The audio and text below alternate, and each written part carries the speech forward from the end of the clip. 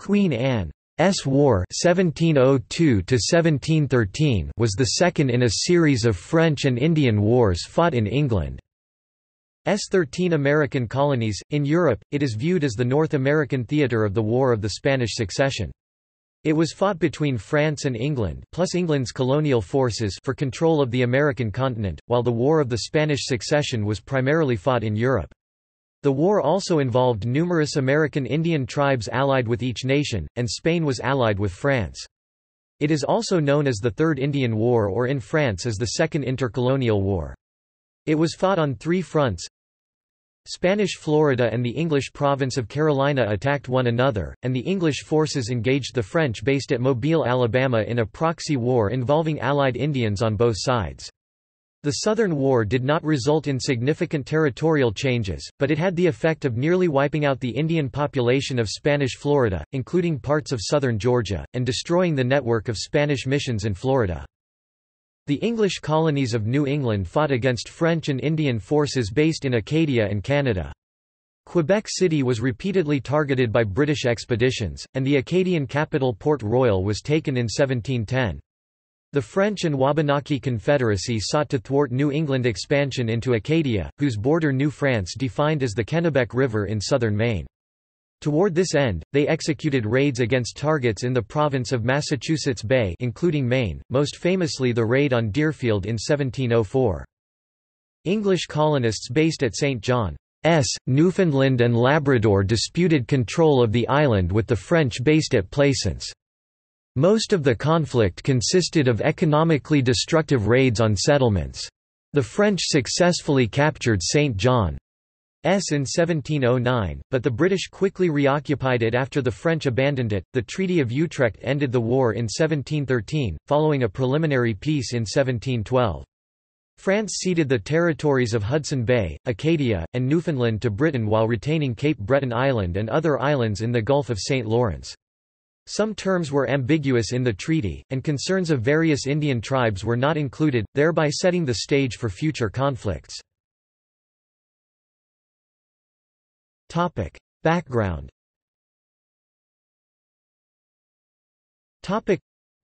War broke out in 1701 following the death of King Charles II over who should succeed him to the Spanish throne.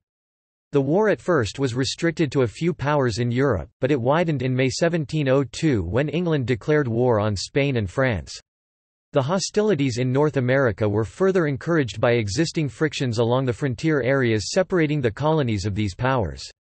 This disharmony was most pronounced along the northern and southwestern frontiers of the English colonies, which then stretched from the province of Carolina in the south to the province of Massachusetts Bay in the north, with additional colonial settlements or trading outposts on Newfoundland and at Hudson Bay. The total population of the English colonies at the time has been estimated at 250,000, with Virginia and New England dominating. The population centers of these colonies were concentrated along the coast, with small settlements inland, sometimes reaching as far as the Appalachian Mountains. Most European colonists knew very little of the interior of the continent, to the west of the Appalachians and south of the Great Lakes. This area was dominated by Indian tribes, although French and English traders had penetrated the area. Spanish missionaries in La Florida had established a network of missions to convert the indigenous inhabitants to Roman Catholicism. The Spanish population was relatively small about 1,500, and the Indian population to whom they ministered has been estimated to number 20,000. French explorers had located the mouth of the Mississippi River, near which they established a small colonial presence in 1699 at Fort Maurepas near present-day Biloxi, Mississippi. From there they began to establish trade routes into the interior, establishing friendly relations with the Choctaw, a large tribe whose enemies included the British allied Chickasaw.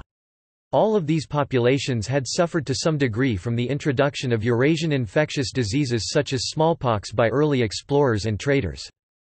The arrival of the French in the south threatened existing trade links that Carolina colonists had established into the interior, creating tension among all three powers. France and Spain, allies in this conflict, had been on opposite sides of the recently ended Nine Years' War Conflicting territorial claims between Carolina and Florida south of the Savannah River were overlaid by animosity over religious divisions between the Roman Catholic Spanish and the Protestant English along the coast. To the north, the conflict held a strong economic component in addition to territorial disputes. Newfoundland was the site of a British colony based at St. John. S, and the French colonial base was at Plaisance, with both sides also holding a number of smaller permanent settlements. The island also had many seasonal settlements used by fishermen from Europe. These colonists numbered fewer than 2,000 English and 1,000 French permanent settlers and many more seasonal visitors who competed with one another for the fisheries of the Grand Banks, which were also used by fishermen from Acadia then encompassing all of present-day Nova Scotia and New Brunswick and Massachusetts. The border area between Acadia and New England remained uncertain despite battles along the border throughout King William's War. New France defined the border of Acadia as the Kennebec River in southern Maine.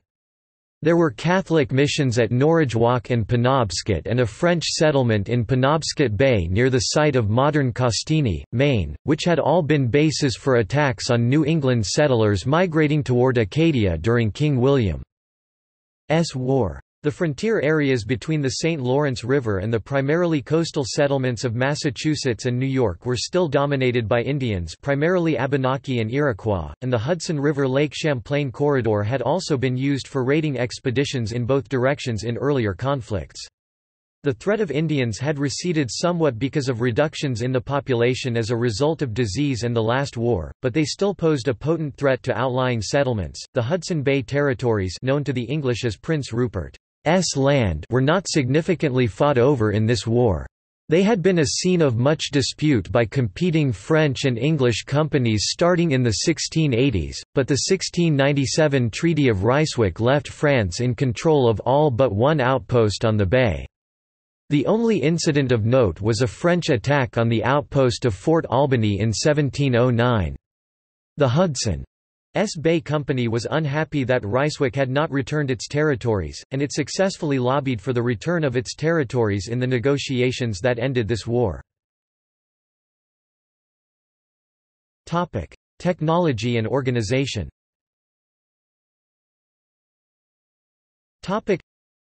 Military technology used in North America was not as developed as it was in Europe.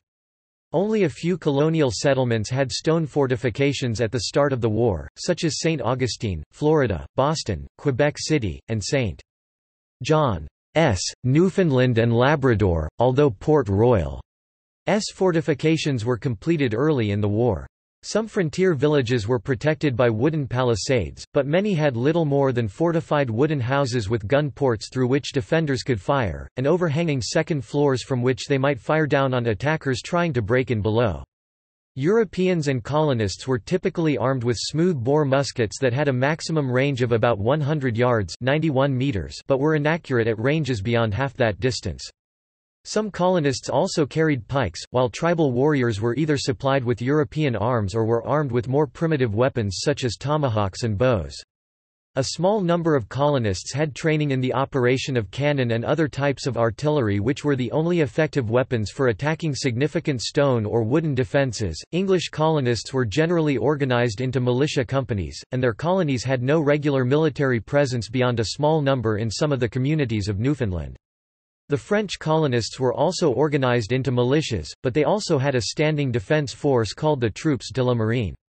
This force consisted of some experienced officers and was manned by recruits sent over from France numbering between 500 and 1,200. They were spread throughout the territories of New France, with concentrations in the major population centers. Spanish Florida was defended by a few hundred regular troops. Spanish policy was to pacify the Indians in their territory and not to provide them with weapons. Florida held an estimated 8,000 Indians before the war, but this was reduced to 200 after English colonist raids made early in the war. Topic: Course of the war. Topic. Topic: Florida and Carolina. Prominent French and English colonists understood at the turn of the 18th century that control of the Mississippi River would have a significant role in future development and trade, and each developed visionary plans to thwart the other's activities. French-Canadian explorer Pierre Le Moyne d'Iberville had developed a «Project sur la Caroline» In the aftermath of the previous war which called for establishing relationships with Indians in the Mississippi watershed and then leveraging those relationships to push the English colonists off the continent, or at least limit them to coastal areas. In pursuit of this grand strategy, he rediscovered the mouth of the Mississippi which had first been found by La Salle in 1670 and established Fort Maurepas in 1699. From this base and Fort Louis de la Mobile founded in 1702, he began to establish relationships with the local Choctaw, Chickasaw, Natchez, and other tribes. English colonial traders and explorers from Carolina had established a substantial trading network across the southeastern part of the continent that extended all the way to the Mississippi. Its leaders had little respect for the Spanish in Florida, but they understood the threat posed by the French arrival on the coast. Both Carolina Governor Joseph Blake and his successor James Moore articulated visions of expansion to the south and west at the expense of French and Spanish interests. Iberville had approached the Spanish in January 1702 before the war broke out in Europe, recommending that the Apalachee warriors be armed and sent against the English colonists and their allies. The Spanish organized an expedition under Francisco Romo de Uriza which left Pensacola, Florida in August for the trading centers of the Carolina back country. The English colonists had advance warning of the expedition and organized a defense at the head of the Flint River, where they routed the Spanish-led force with some 500 Spanish-led Indians killed or captured. Carolina's Governor Moore received notification concerning the hostilities, and he organized and led a force against Spanish Florida. 500 English colonial soldiers and militia and 300 Indians captured and burned the town of St. Augustine, Florida in the Siege of St. Augustine 1702. The English were unable to take the main fortress and withdrew when a Spanish fleet arrived from Havana.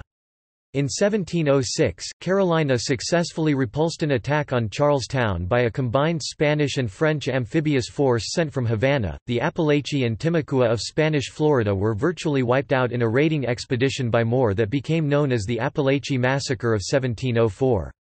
Many of the survivors of these raids were relocated to the Savannah River where they were confined to reservations. Raids continued in the following years consisting of large Indian forces, sometimes including a small number of white men. This included major expeditions directed at Pensacola in 1707 and Mobile in 1709. The Muskogee Creek, Yamasee, and Chickasaw were armed and led by English colonists, and they dominated these conflicts at the expense of the Choctaw, Timucua, and Apalachee. New England and Acadia Topic. Throughout the war, New France and the Wabanaki Confederacy were able to thwart New England expansion into Acadia, whose border New France defined as the Kennebec River in southern Maine. In 1703, Michel Leneuf de la Vallière de Beaubassin commanded a few French Canadians and 500 Indians of the Wabanaki Confederacy, and they led attacks against New England settlements from Wells to Falmouth present-day Portland, Maine in the Northeast Coast Campaign. They killed or captured more than 300 settlers. In February 1704, Jean-Baptiste Hertel de Rouville led 250 Abenaki and Caughnawaga Indians and 50 French Canadians in a raid on Deerfield in the province of Massachusetts Bay and destroyed the settlement, killing and capturing many colonists. More than 100 captives were taken on an overland journey hundreds of miles north to the Caughnawaga Mission village near Montreal, where most of the children who survived were adopted by the Mohawk people. Several adults were later redeemed or released in negotiated prisoner exchanges, including the minister, who tried for years without success to ransom his daughter. She became fully assimilated, marrying a Mohawk man. There was an active market in human trafficking of the captive colonists during these years, and communities raised funds to ransom their citizens from Indian captivity. New England colonists were unable to effectively combat these raids, so they retaliated by launching an expedition against Acadia led by the famous American Indian fighter Benjamin Church. The expedition raided Grand Pre, Chignecto, and other settlements. French accounts claim that Church attempted an attack on Acadia's capital of Port Royal, but Church account of the expedition describes a war council in which the expedition decided against making an attack. Father Sebastian Rale was widely suspected of inciting the Norridgewock tribe against the New Englanders, and Massachusetts Governor Joseph Dudley put a price on his head. In the winter of 1705, 275 British soldiers under the command of Colonel Winthrop Hilton were dispatched to seize Rale and sack the village. The priest was warned in time, however, and escaped into the woods with his papers, but the militia burned the village and church. French and Wabanaki Confederacy raiding activity continued in northern Massachusetts in 1705, against which the English colonists were unable to mount an effective defense. The raids happened too quickly for defensive forces to organize, and reprisal raids usually found tribal camps and settlements empty. There was a lull in the raiding while the French and English leaders negotiated the exchange of prisoners, with only limited success. Raids by Indians persisted until the end of the war, sometimes with French participation. In May 1707, Governor Dudley organized an expedition to take Port Royal led by John March. However, 1,600 men failed to take the fort by siege, and a follow-up expedition in August was also repulsed. In response, the French developed an ambitious plan to raid most of the New Hampshire settlements on the Piscataqua River. However, much of the Indian support needed never materialized, and the Massachusetts town of Haverhill was raided instead. In 1709, New France governor Philippe de Rigaud-Vaudreuil reported that two-thirds of the fields north of Boston were untended because of French and Indian raids. French Indian war parties were returning without prisoners because the New England colonists stayed in their forts and would not come out. In September 1710, 3,600 British and colonial forces led by Francis Nicholson finally captured Port Royal after a siege of one week. This ended official French control of the peninsular portion of Acadia present-day mainland Nova Scotia, although resistance continued until the end of the war. Resistance by the Wabanaki Confederation continued in the 1711 Battle of Bloody Creek and raids along the Maine frontier. The remainder of Acadia present-day eastern Maine and New Brunswick remained disputed territory between New England and New France. Expeditions against New France the French in New France's heartland of Canada opposed attacking the province of New York. They were reluctant to arouse the Iroquois, whom they feared more than they did the British colonists and with whom they had made the Great Peace of Montreal in 1701. New York merchants were opposed to attacking New France because it would interrupt the lucrative Indian fur trade, much of which came through New France. The Iroquois maintained their neutrality throughout the conflict, despite Peter Schuyler's efforts to interest them in the war. Schuyler was Albany's Commissioner of Indians. Francis Nicholson and Samuel Vetch organized an ambitious assault against New France in 1709, with some financial and logistical support from the Queen. The plan involved an overland assault on Montreal via Lake Champlain and a sea-based assault by naval forces against Quebec. The land expedition reached the southern end of Lake Champlain, but it was called off when the promised naval support never materialized for the attack on Quebec. Those forces were diverted to support Portugal. The Iroquois had made vague promises of support for this effort, but successfully delayed sending support until it seemed clear that the expedition was going to fail. After this failure, Nicholson and Schuyler travelled to London accompanied by King Hendrik and other sachems to arouse interest in the North American frontier war. The Indian delegation caused a sensation in London, and Queen Anne granted them an audience. Nicholson and Schuyler were successful in their endeavour. The Queen gave support for Nicholson's successful capture of Port Royal in 1710. With that success under his belt, Nicholson again returned to England and gained support for a renewed attempt on Quebec in 1711. The plan for 1711 again called for land and sea based attacks, but its execution was a disaster. A fleet of 15 ships of the line and transports carrying 5,000 troops led by Admiral Hovenden Walker arrived at Boston in June, doubling the town's population and greatly straining the colony's ability to provide necessary provisions. The expedition sailed for Quebec at the end of July, but a number of its ships foundered on the rocky shores near the mouth of the St. Lawrence in the fog. More than 700 troops were lost, and Walker called off the expedition. In the meantime, Nicholson had departed for Montreal overland but had only reached Lake George when word reached him of Walker's disaster, and he also turned back. In this expedition, the Iroquois provided several hundred warriors to fight with the English colonists, but they simultaneously sent warnings to the French about the expedition, effectively playing both sides of the conflict. Newfoundland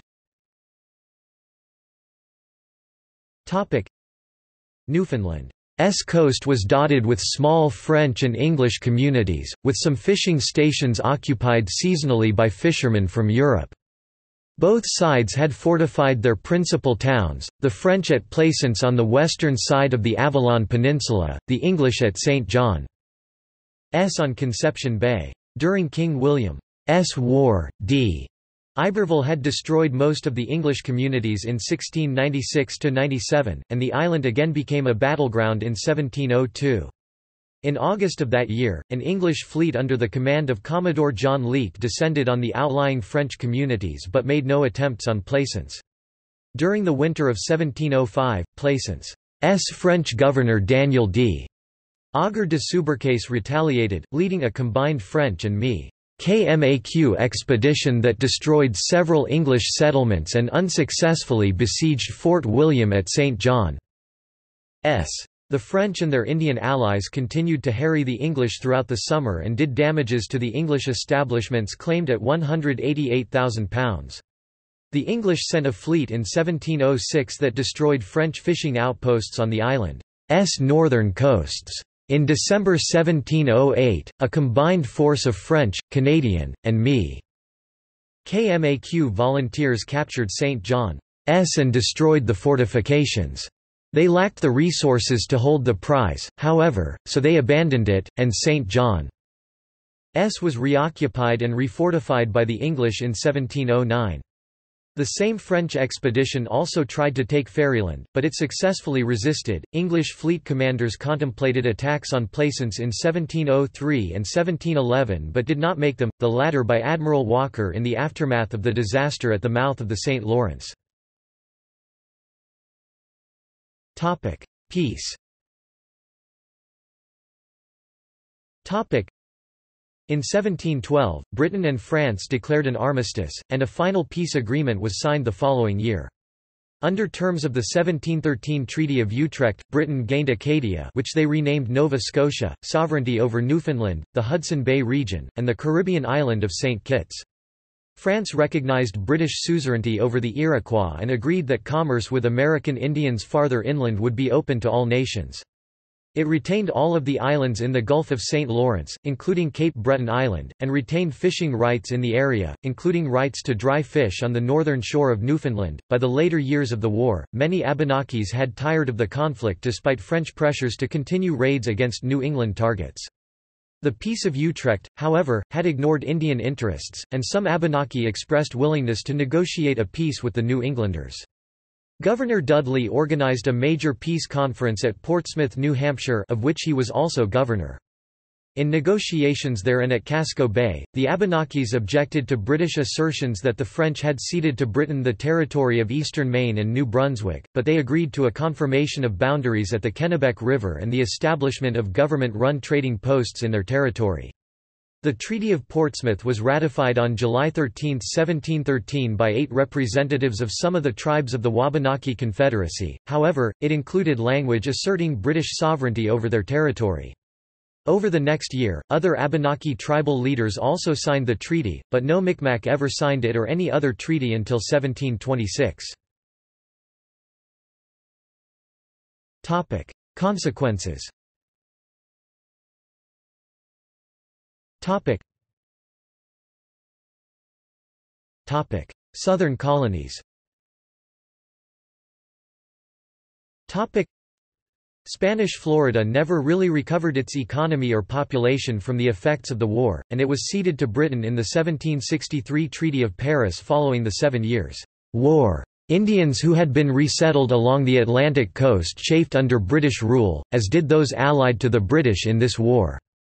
This discontentment flared into the 1715 Yamasee War that posed a major threat to South Carolina's viability. The loss of population in the Spanish territories contributed to the 1732 founding of the province of Georgia, which was granted on territory that Spain had originally claimed, as was also the case with Carolina.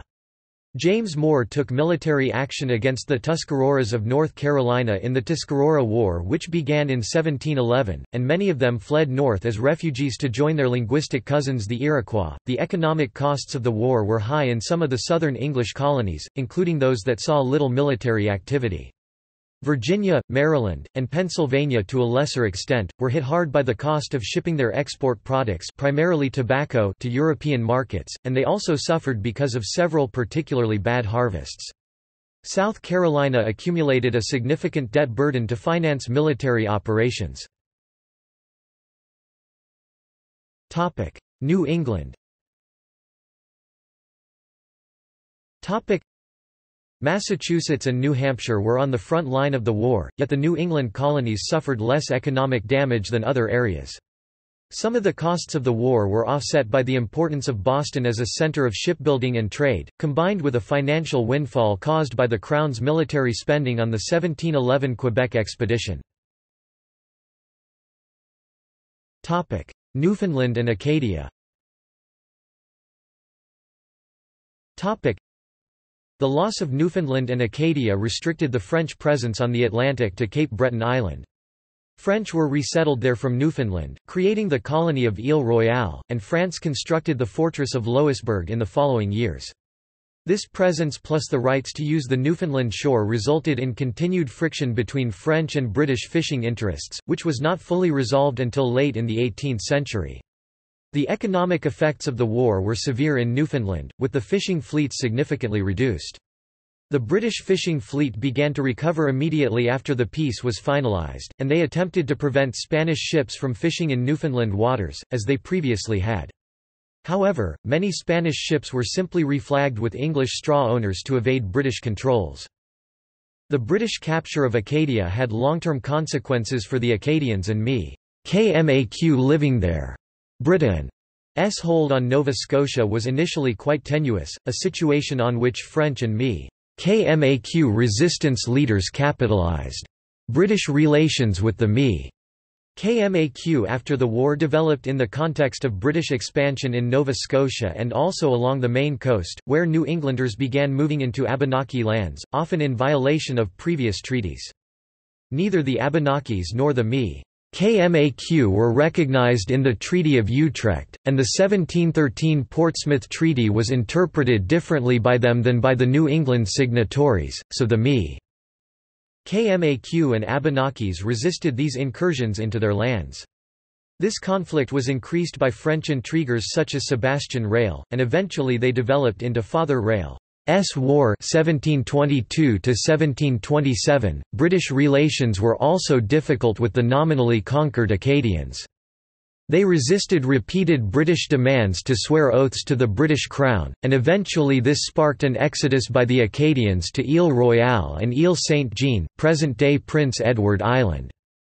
By the 1740s, French leaders such as Father Jean-Louis Le Loutre orchestrated a guerrilla war with their ME.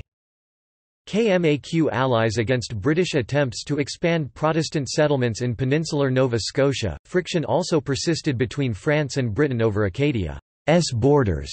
The boundaries were unclear as laid out by the treaty, which even the French had never formally described. France insisted that only the Acadian Peninsula was included in the treaty modern Nova Scotia except Cape Breton Island and that they retained the rights to modern New Brunswick. The disputes over Acadia flared into open conflict during King George's war in the 1740s and were not resolved until the British conquest of all French North American territories in the Seven Years' War. Trade The French did not fully comply with the commerce provisions of the Treaty of Utrecht. They attempted to prevent English trade with remote Indian tribes, and they erected Fort Niagara in Iroquois territory. French settlements continued to grow on the Gulf Coast, with the settlement of New Orleans in 1718 and other unsuccessful attempts to expand into Spanish-controlled Texas and Florida. French trading networks penetrated the continent along the waterways feeding the Gulf of Mexico, renewing conflicts with both the British and the Spanish. Trading networks established in the Mississippi River watershed, including the Ohio River Valley, also brought the French into more contact with British trading networks and colonial settlements that crossed the Appalachian Mountains. Conflicting claims over that territory eventually led to war in 1754, when the French and Indian War broke out. Notes